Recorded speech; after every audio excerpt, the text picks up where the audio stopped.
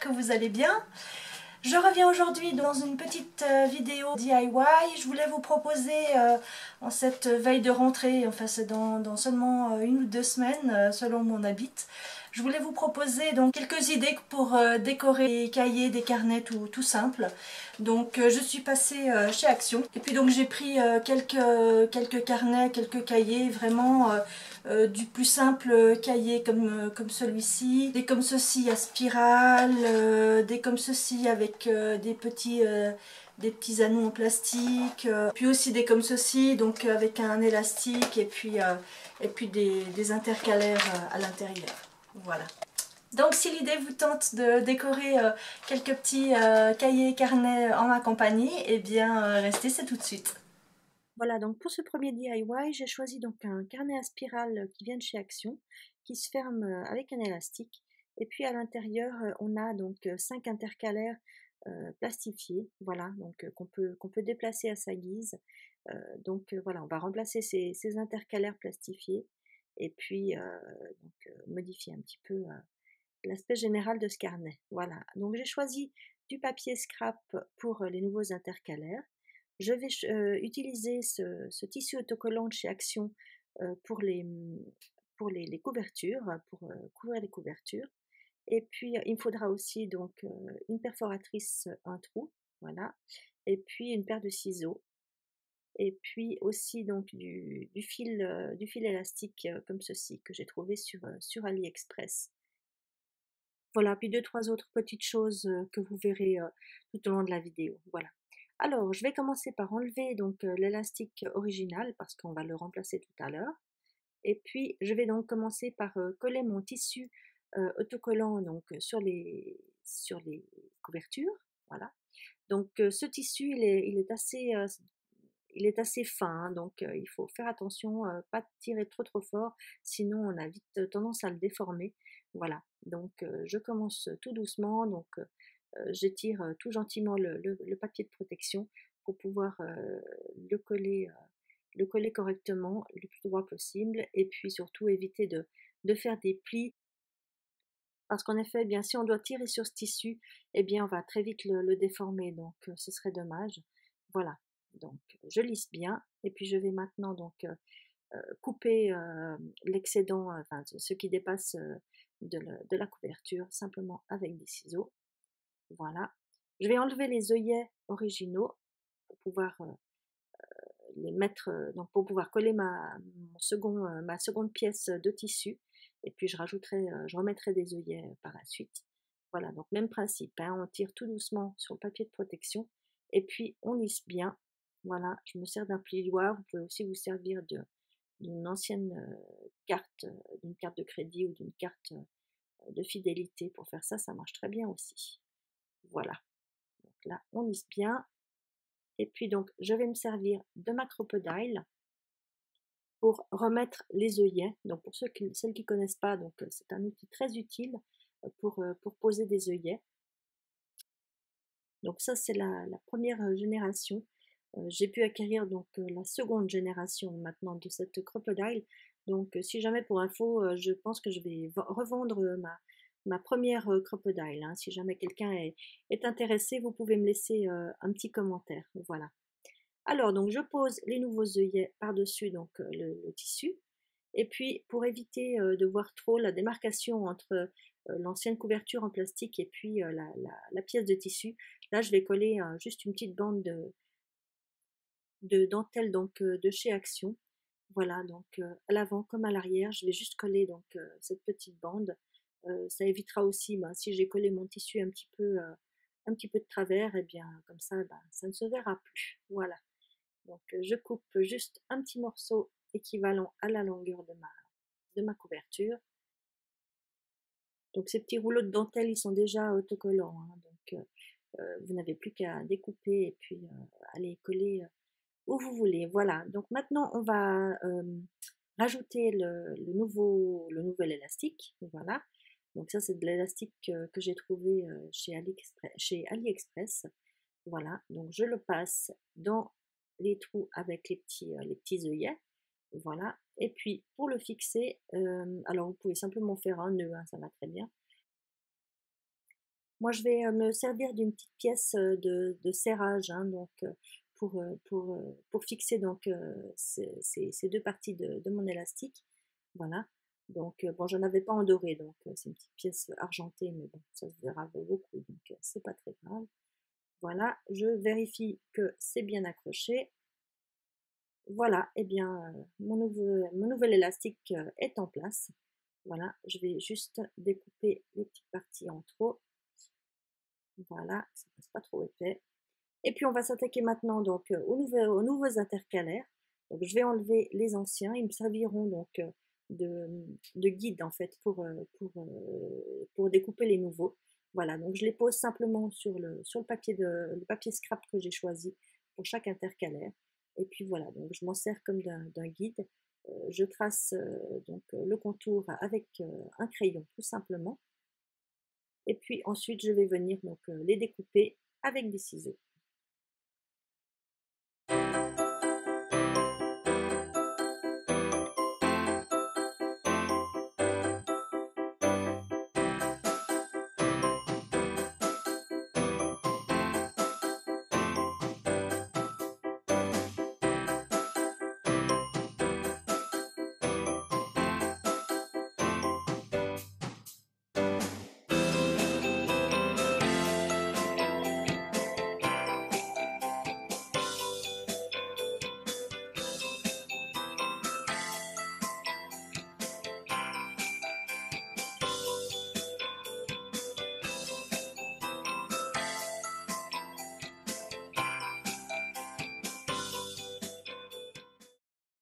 Voilà, donc j'ai refait mes cinq intercalaires.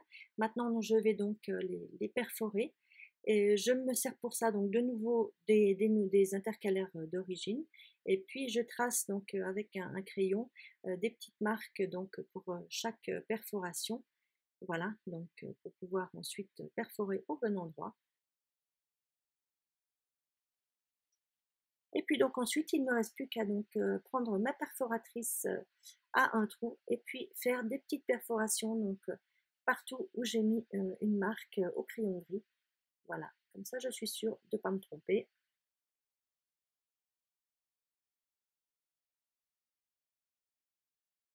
Ensuite, eh bien, il suffira simplement de prendre les ciseaux et puis de faire deux petites encoches en face de chaque perforation. Voilà, comme ceci, ce qui nous permettra donc de pouvoir les placer et puis les, déplacer à notre guise.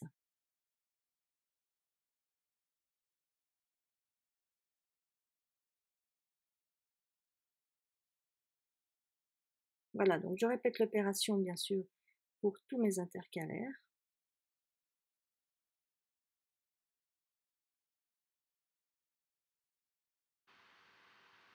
Et puis comme ça, eh bien, je vais pouvoir les insérer dans mon, dans mon petit carnet.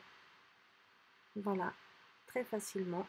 Il n'y a plus qu'à appuyer pour les faire rentrer dans les anneaux. Voilà. Ils sont quand même plus jolis, non? Qu'est-ce que vous en pensez? Et puis donc, dernière petite chose, je vais euh, fabriquer un petit, une petite boucle pour insérer un stylo ou un crayon. Donc je me sers en fait de l'ancien élastique, de l'élastique d'origine euh, qui, qui, referme ce carnet. Voilà, je vais simplement utiliser un petit peu de fil et une aiguille euh, pour coudre euh, une petite boucle. Ensuite, je vais prendre du papier scrap, donc le même que j'ai utilisé pour un des intercalaires. Je découpe simplement une bande de papier sur laquelle je vais venir donc coller ma petite boucle je vais utiliser pour ça donc de la colle chaude, comme ça je suis sûre que, ma petite boucle va bien tenir à ma bande de papier. Et puis ensuite, voilà, donc je, vais simplement coller donc ma boucle à la colle chaude. Par contre, la, bande de papier, je vais utiliser du, voilà, du, du double face, du double face un petit peu épais que j'achète aussi chez Action d'ailleurs. Voilà, ça suffira largement pour tenir donc une petite bande de papier que je colle donc tout au bord de ma couverture. Et voilà, j'ai ma petite boucle pour insérer un stylo. Voilà, donc j'ai terminé la, la déco de, de, mon premier carnet. Voilà ce que ça donne. Et puis on va passer maintenant donc euh, au deuxième DIY.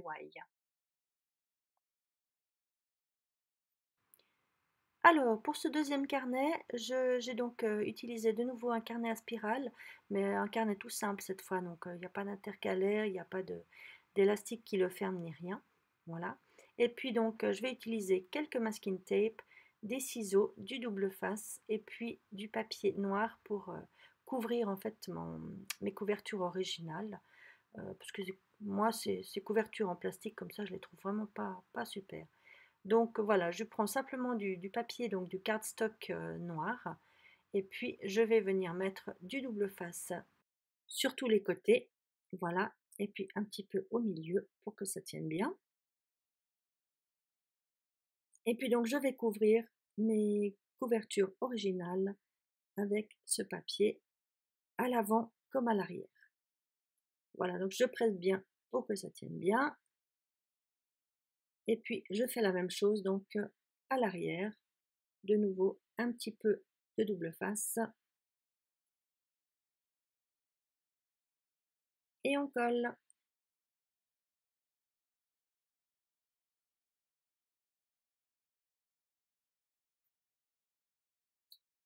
Une fois que c'est fait, donc je vais venir faire des, petites, euh, des petits repères au crayon gris, euh, simplement pour m'aider à, essayer de coller euh, mon, mon, washi tape à peu près droit, enfin droit, à peu près d'une manière assez géométrique, géométrique on va dire. Voilà, donc j'ai utilisé, donc j'ai choisi trois différents washi tape dans les tons un petit peu vert et, doré, voilà, avec des petits cœurs et puis des, des petits renards. Et puis, donc, je viens les coller comme ça, d'une façon un petit peu euh, géométrique, enfin le plus symétrique euh, possible. J'essaye, euh, en tout cas, voilà. Je fais ça donc sur toute la longueur de ma couverture. Là, j'enlève juste l'excédent avec un cutter. Je rajoute un petit peu de washi tout fin, tout fin, ici, là où j'ai laissé de l'espace. Je corrige avec mon cutter un petit peu de washi encore sur le côté. Et voilà, mon deuxième carnet est terminé. Voilà, donc pour ce troisième et dernier DIY, j'utilise donc euh, un cahier vraiment tout simple ligné. Je vais utiliser aussi des ciseaux, de la colle, un crayon, un petit peu de washi, des feuilles de transfert comme ceci que je trouve chez Action, du papier doré, et puis du papier donc euh, scrap, euh, celui que, vous souhaitez. J'ai donc choisi un papier scrap pour couvrir donc euh, ma couverture originale. C'est donc un très joli papier qui ressemble un petit peu à de l'aquarelle. J'aurais pu le faire moi-même. Hein. Si vous vous sentez, vous pouvez faire simplement de l'aquarelle sur du papier. Bon, moi, je voilà, je suis pas très douée avec la peinture et l'aquarelle. Je suis pas très à l'aise. Donc voilà, j'ai préféré euh, utiliser euh, du papier euh, scrap que j'avais. Et puis pour l'arrière, en utilisant le même papier, mais cette fois des chutes, en fait, je vais, j'ai découpé simplement des bandes de ce papier, donc de ces chutes de papier, que j'ai collées sur une feuille, simplement une, feuille pour imprimante. Et puis comme ça, donc ça permet d'utiliser vos chutes de papier. Et puis, comme je n'avais pas de, la même feuille en fait de scrap pour refaire une deuxième une deuxième euh, couverture, et bien comme ça, voilà, j'ai quand même quelque chose qui est assez uniforme. Voilà. Alors sur la tranche, je mets juste un petit peu de washi pour couvrir en fait eh bien, la couverture originale, la couleur de la couverture originale. Voilà, je mets Si ça ne tient pas, vous pouvez toujours euh, ajouter un petit peu de double face. Je vais maintenant prendre mon papier doré sur lequel je vais découper une tête de licorne. Voilà, donc j'ai imprimé tout simplement une tête de licorne euh, sur du papier d'imprimante. Et puis, je vais m'en servir donc comme, comme, guide. Je vais tracer les contours avec, euh, avec un crayon gris sur l'arrière de mon, de mon papier doré. Et puis ainsi, je vais pouvoir découper ma tête de licorne avec des ciseaux. Je sais que les, licornes sont très tendance en ce moment. Et puis donc, euh, si j'ai choisi aussi une licorne, c'est parce que j'avais envie de vous faire une petite surprise. Donc, euh, restez euh, bien jusqu'à la fin de la vidéo. Et puis, je, je, vous réserve une petite surprise façon licorne. Voilà. Alors, j'ai découpé maintenant donc c'est ma tête de licorne. Je vais mettre du double face à l'arrière Et puis, je vais venir la coller sur ma couverture avant de mon cahier. Voilà. Et puis, donc, pour terminer, je vais prendre mon, mes petites feuilles de transfert donc, que j'ai trouvé chez Action aussi. je vais découper le mot Dream, qui va bien, je trouve, avec les licornes. Et puis, je vais venir donc poser ce, enfin, coller ce, mot en m'aidant donc d'un petit, d'un petit bâton de bois, voilà, en grattant donc chaque lettre avec un petit bâton de bois. Donc en grattant bien chaque lettre. Et voilà, mon petit dernier carnet est terminé. Voilà, bah écoutez, j'espère que mes petites euh, idées de déco euh, de, de carnet vous auront plu. Si c'est le cas, bien dites-le moi peut-être dans les, dans les commentaires. Hein. Et puis, ben, dites-moi peut-être euh, celui qui est votre, votre favori. Voilà. Sachez en tout cas que je vais tirer au sort l'un de vos commentaires. Et puis, l'une de vous pourra gagner donc ce petit, ce petit cahier décoré avec, avec une licorne. Voilà, j'espère que ça vous fera plaisir. Donc, ben, laissez-moi un petit pouce en l'air si ça vous a plu. Et puis, un petit commentaire de nouveau. Dites-moi euh, lequel euh, des trois vous plaît le plus. Moi, je vous retrouve très vite dans une prochaine vidéo. Encore merci pour vos nombreux abonnements. bienvenue à tous sur ma chaîne. J'espère qu'elle vous plaît. N'hésitez pas aussi à me dire dans les commentaires si vous avez des idées de, de vidéos. Je me ferai un plaisir d'y répondre. Voilà. Eh bien, en attendant, à très bientôt. Je vous embrasse et puis passez une très belle semaine. Ciao